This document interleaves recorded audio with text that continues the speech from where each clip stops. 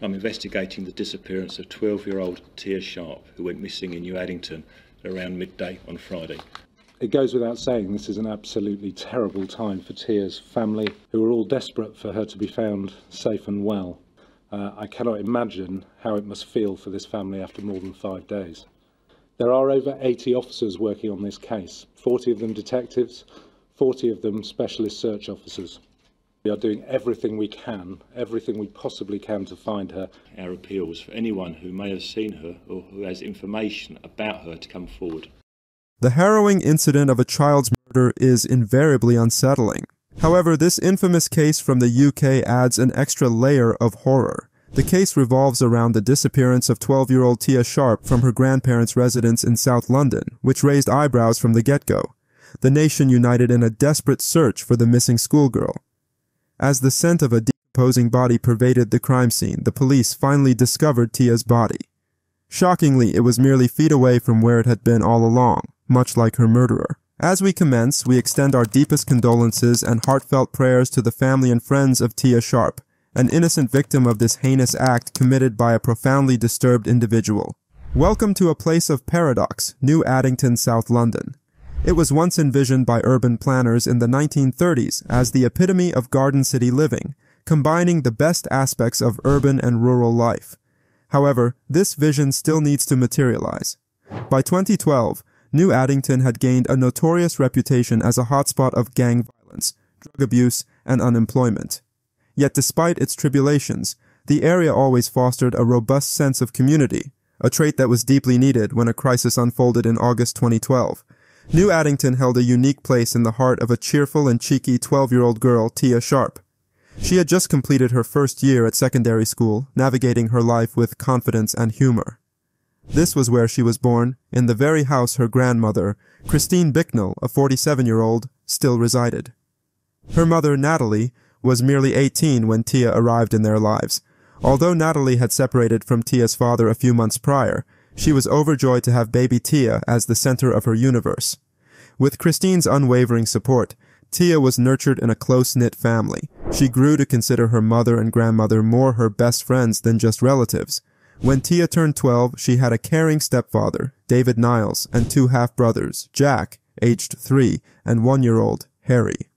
Tia's life was not without its fair share of bumps, as she had inconsistent contact with her biological father, Stephen Carter, and faced social services issues due to poor school attendance and her parents' cannabis use. However, she consistently performed well academically, and by the time she reached secondary school, Tia had blossomed into a confident, lively, and resilient young girl. Tia was a petite dynamo, standing at just 4 feet 5 inches, but she was the life of the room. She was fearless in standing up to bullies, loved performing, and often sang into her Blackberry while watching her favorite show, The X Factor. She found solace in her grandmother's house in New Addington, which she considered her second home.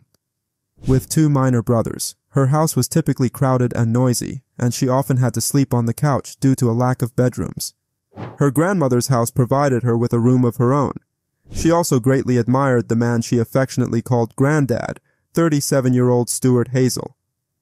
During her summer vacation in August 2012, Tia expressed interest in spending a few nights at her grandparents'. Stuart, who had often babysat Tia even more than her grandmother, was more than happy to take her. He was like a big kid, indulging Tia by allowing her to stay up late, gaming and watching movies. Stuart was no stranger to legal troubles, having been in jail three times. However, despite his past, the Sharps knew him as a man who had been nothing but kind to Christine. He had a history with the family, having dated Natalie before he became involved with Christine.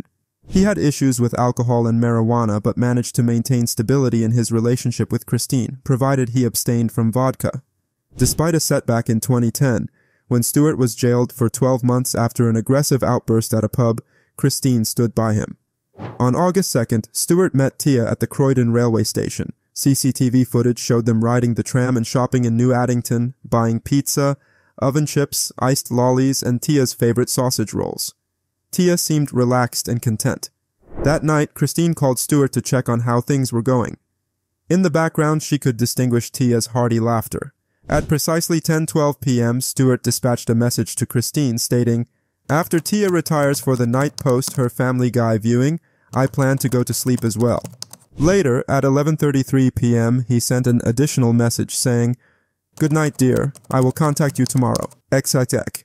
The final message from Tia's BlackBerry was dispatched to a friend at 12:42 a.m. upon Christine's arrival home from her night shift the following day. She discovered Stuart solitary and engrossed in television. Hazell informed her that Tia had embarked on a shopping excursion to Croydon intending to purchase new flip-flops and promise a return by 6 p.m. As 6 p.m. passed without her arrival, Christine's worry escalated. Tia had left her phone on charge and had neglected to take her travel card. She was nowhere to be found, neither by Natalie nor by Christine and Hazell, who drove the streets in a frantic search. At the stroke of 10 p.m., they reported Tia's absence to the authorities. Stuart relayed his activities to the officers, stating he had risen in the morning, had coffee, tidied the house, tended to the dogs, and smoked cigarettes. Tia, he mentioned, had awoken late, and he prepared her breakfast. She had expressed an intention to visit Croydon and rendezvous with a friend whom he did not know before she exited the premises. Stuart Hazell, at the age of 37, bore a countenance that could easily provoke suspicion, resembling an exemplary figure in a drug abuse warning poster. His extensive criminal record made him an unlikely candidate for a caretaker, not a welcomed guest. An investigation of the new Addington house yielded no results. Still, a neighbor suddenly corroborated Stuart's vague recollection of Tia's departure without her phone, Paul Meehan, who claimed to have observed Tia exiting the house at the very time Stuart had indicated, around 12:10 p.m. The police then shifted their focus to the plausible scenario that Tia may have journeyed to the tram stop and traveled to Croydon. On August 4th, one of British history's most widely publicized search campaigns was initiated. The disappearance of the 12-year-old girl from New Addington dominated the headlines. The Sun newspaper offered a reward of £25,000 for any information that could assist in locating Tia. Within a few hours, t-shirts bearing Tia's image were produced, and the entire New Addington community engaged in distributing flyers and scouring the streets and surrounding woods. Tia's father, Stephen Carter, traveled from Northampton with Stuart Hazell spearheading the search. Natalie's brother emerged as the unofficial spokesperson for the Sharps conducting press interviews and conferences. The consensus was that Tia had not absconded, nor would she have voluntarily accompanied a stranger. Christine, her grandmother, had often warned her about the dangers posed by strangers. A subsequent search of Christine's house, this time with the assistance of a sniffer dog, found nothing noteworthy. An exhaustive review of 800 hours of CCTV footage revealed no trace of Tia at the tram stop, on the tram, or anywhere else. Natalie said it was like she'd walked out the door and fallen into a hole. On the day of her disappearance, there were 55 reports of Tia's sightings, all of which were thoroughly investigated but yielded no significant leads. On the 6th of August, Monday, the family issued a heartfelt appeal for information regarding Tia's whereabouts. During the events, Hazell's father disputed Stuart's narrative. Stuart claimed to have accompanied Tia to the tram stop. This contradiction was just one among many in an evolving narrative. Journalists flocked to the Addington residence as news of Tia's disappearance gained traction. Stuart Hazell, the last person to have seen Tia alive, was the focal point of media attention. The constant media presence and recurring police visits created an intense environment for Stuart, who felt increasingly cornered. The consensus was that Stuart was withholding information. His movements outside the house were constantly interrupted. Despite a third thorough search of the house by the police using dogs, no substantial clues were found. With each passing day, hope was gradually replaced by a profound despair. On the 9th of August, Stuart Hazell, overwhelmed by the speculation, requested an interview with ITV. Within hours, he was in his Addington Homes lounge, alongside a former detective and an ITV journalist, ready to defend his reputation to the nation. However, the interview did not go down well. Stuart was perceived as evasive and nervous, behaving like someone with something to hide. His body language was scrutinized, his earlobes reddened when questioned about Tia, an indicator of elevated blood pressure and stress, and his excessive blinking suggested anxiety. While he was clear about his activities, he was vague about Tia's actions and words that morning. Despite the mounting suspicions, the Sharp family stood by Stuart. Christine constantly reassured Stuart of her support. From the moment Tia disappeared, Hazell was a source of comfort for Christine. He held and consoled her night after night, Unbeknownst to her, she was sleeping directly beneath the decomposing body of her beloved grandchild, and the child's murderer was right next to her. Stuart Hazell was a deeply deranged individual. Christine had believed she knew everything about Stuart, but she was profoundly mistaken. Stuart's internal world was a nightmare, fueled by his obsessive fantasies about violent and sexual abuse of children. Stuart's upbringing was dysfunctional. His mother was a prostitute, his father a career criminal. He was put into foster care at an early age. His mother and sister later described him as creepy, untrustworthy, and a kleptomaniac. His mother seemed unable to correlate his upbringing with his behavior. By 12, Stuart was already on a path to addiction and delinquency. He became part of a South London gang dealing in cocaine. He amassed a series of convictions, including grievous bodily harm, assault, theft, and burglary. He was volatile and prone to self-harm and depression. Others described him as a fantasist and a compulsive liar. He once falsely claimed his father's death to get additional time off work. His tearful performance was unsettlingly convincing. The worst aspect of Stuart hadn't emerged yet. It's probable Stuart had a predilection for children long before 2005, but around this time he began to indulge in child abuse pornography actively. This became an addiction that consumed most of his free time. In 2010, his sick fantasies moved on to his step-granddaughter Tia, who was 10 years old at the time. He tailored his online searches using keywords like dark-haired girl with glasses and incest. Often, a guest at Stuart's home, Tia unknowingly became the subject of his voyeuristic tendencies. Stuart manipulated a light fixture in her room, creating a discreet peephole to capture her undressing and clandestinely applying lotion to her legs. He also removed the bathroom door under the pretense of refurbishing it. By 2012, his unsettling behavior escalated as he started to record Tia sleeping. Detective Chief Inspector Nick Scola posited that Stuart had deluded himself into believing Tia reciprocated his feelings. By August 2012, Stuart's twisted interest in Tia had morphed into an obsession, spending hours each day viewing child abuse pornography on his phone. The compulsion to act on his perverse fantasy was intensifying, potentially beyond his control. Perhaps he had no intention to resist it. On Friday, August 10th, Christine was greeted by an evil smell that had permeated the house for days, now more vital than ever. The source of the nauseating stench reminiscent of a deceased rodent or cat-soiled rug eluded her. Stuart had left the house early that morning, leaving a note indicating he was out to buy a newspaper and would return soon.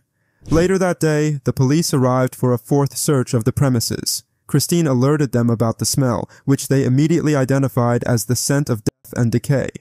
The officers evacuated the house, and within 10 minutes of scouring the attic, they discovered the body of 12-year-old Tia Sharp. Her unidentifiable body, due to a week in the humid, heated attic, was wrapped in trash bags and sheets and concealed amidst bags and debris between the attic rafters. The cause of her death was indeterminable. The revelation that Tia's body had been in the house the entire time was a horrendous shock for the Sharp family, as was the thought that Stuart, a trusted family friend could be the perpetrator. The police found a bag of Tia's clothes and Stuart's broken glasses next to her body. Memory cards from Stuart's digital camera were discovered wedged into a doorframe, the images on them exposing the extent of his deviancy. The police later apologized to Tia's family for overlooking her body during the three previous searches, attributing this oversight to human error and an inexperienced detective. Evidently, they had not thoroughly inspected the attic, even when the detection dog had signaled towards the ceiling. They had also failed to place Stuart under police watch. Consequently, he had the opportunity to abscond, which it appeared he had. Stuart Hazell, noticeably intoxicated, stumbled into a shop a few train stops from New Addington. Chloe Bird, an 11-year-old girl who had just seen a news report, identified him. She immediately informed her parents, who contacted the police. Several other people recognized Stuart that day before he disappeared into Cannon Hill Common, Morden. A police helicopter equipped with a thermal imaging camera located Stuart, who had concealed himself under a blanket and log. Stuart Hazell was arrested around 9 p.m. on August 10th. As the police van drove away, about a hundred bystanders yelled, cursed, and kicked at the vehicle in outrage. Natalie Sharp expressed her hope that someone would apprehend him before the authorities could. After the tragic discovery of Tia's remains, a spontaneous memorial began to take shape near Christine's home. This poignant tribute rapidly expanded, featuring candles, cards, stuffed animals, and flowers. It was a tangible representation of the community's collective heartbreak over the premature and brutal loss of a young life. Stuart Hazell, the accused, initially pleaded not guilty to the charge of Tia Sharp's murder on May 7, 2013. He asserted that Hazell was intoxicated on the fateful night and attempted to assault Tia shortly after 12:45 p.m. It was likely that Tia resisted, as evidenced by her fingerprints on Hazell's damaged glasses. In an effort to silence her, Hazell allegedly suffocated Tia. However, the violation of Tia did not end there. A photograph discovered on Hazell's phone, taken approximately at 6:30 a.m., showed Tia in a provocative pose on her bed, with visible stains on the sheets. The pattern of her skin indicated that Tia had likely been deceased for several hours at that point. It seemed Hazell had spent hours with Tia's body and arranged her in this position. This single image, a horrifying memento, was retained on his phone. During the period when the world was desperately searching for his missing granddaughter, Hazell frequently viewed the image and searched for incest related websites. Hazell altered his plea to guilty on the fifth day of his trial. He received a life sentence with the possibility of parole after 38 years. Meanwhile, Paul Meehan, Hazell's neighbor who falsely claimed to have seen Tia, was convicted for wasting police resources and received a five month prison sentence. Now, for nine months, Stuart Hazell insisted Tia Sharp died after falling downstairs. Today, he finally pleaded guilty to murdering her. But the dramatic turnaround came simply too late to prevent Tia's family enduring four days of harrowing evidence. The South London schoolgirl's body was found hidden in the house of her grandmother, Hazell's former partner, last summer. And just to warn you, some of you may find the detail in Jane Deeth's report upsetting. So, what can you tell me about the murder of Tia Sharp, Stuart? He told them nothing. Oh, a couple of minutes with my solicitor, please. But today, Stuart Hazell finally admitted a sexual and sadistic murder of a 12 year old girl who trusted and idolised him. Tia Sharp's family thought Hazell loved her like a granddaughter. But one night in the summer holidays, when he was looking after Tia, he assaulted her and then, it's believed, smothered her. On trial, he claimed she died after falling down the stairs, until today, when his legal team asked for the charge of murder to be put to him again. He paused and then said guilty. It was the one true word he's spoken since he murdered Tia Sharp. Apparently, he felt her family had suffered enough. Or did he just realise the evidence against him was too strong? Tia Sharp's family, her mother Natalie and grandmother Christine Bicknell, Hazell's former partner, had to endure that appalling evidence. Videos Hazell had taken of Tia Sharp when she was sleeping with her blood on it. The indecent photograph he took of her after he'd killed her. The searches for child pornography and incest on his mobile phone. Tia Sharp's father said hearing what Hazell did to his daughter shattered his heart. Hazell will be sentenced tomorrow. In my opinion, it will not be enough. He should serve his time, then be hung. The police say Stuart Hazell must be removed from society. Hazell is a violent and dangerous man who poses a significant risk to young girls. Yes. It's only proper he will receive a long prison sentence. He lied to his partner, Christine Bicknell, telling her her granddaughter had gone shopping for sandals and not come home. He lied to the police, playing the grieving granddad, desperate to find Tia. He sat on the sofa while Tia's body was in the loft and lied. I know deep down in my heart that Tia walked out of my house. She walked out there, and I know damn well because she was seen walking down the pathway. I know she made that track down to that way. What happened after that is I don't know. For eight days, he had everyone believing Tia Sharp was missing. The police searched the loft twice, but failed to find her. The media outside Stuart Hazell's front door meant he couldn't move the body. After a week, the smell led to Tia's discovery, and Hazell was arrested. People on the estate knew him as a nasty, violent man. He'd been to prison for dealing cocaine and possessing a blade. In fact, it was a machete. In a court statement, Tia's mother, Natalie Sharp, described wanting to hurt Stuart Hazell. Except, she said, I could never manage to hurt him like he's hurt me. In November 2013, leading search engine firms, including Google and Microsoft, yielded to societal demands, implementing measures to hinder online child abuse imagery access. The tragic case of Tia Sharp was a frequent reference in this crusade to catalyze the necessary change. However, for the Sharp family, the grief and terror following Tia's murder remain relentless, casting a perpetual shadow over their lives. Natalie Sharp poignantly expressed her unending agony. Each breath I draw is akin to a taste of hell. There is no respite, no easing, no reprieve.